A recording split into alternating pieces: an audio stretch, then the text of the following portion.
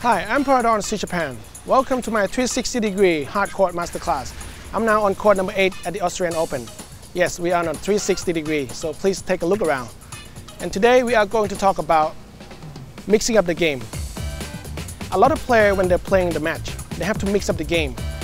And one of the shots they use a lot is the cross-court slide. Why?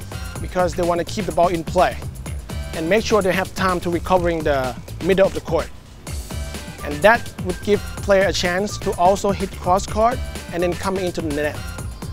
So let's play with a 360 degree.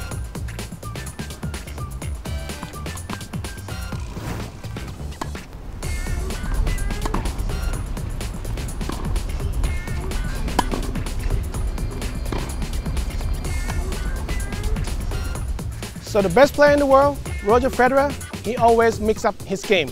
So let's mix up the game with the 360 degree.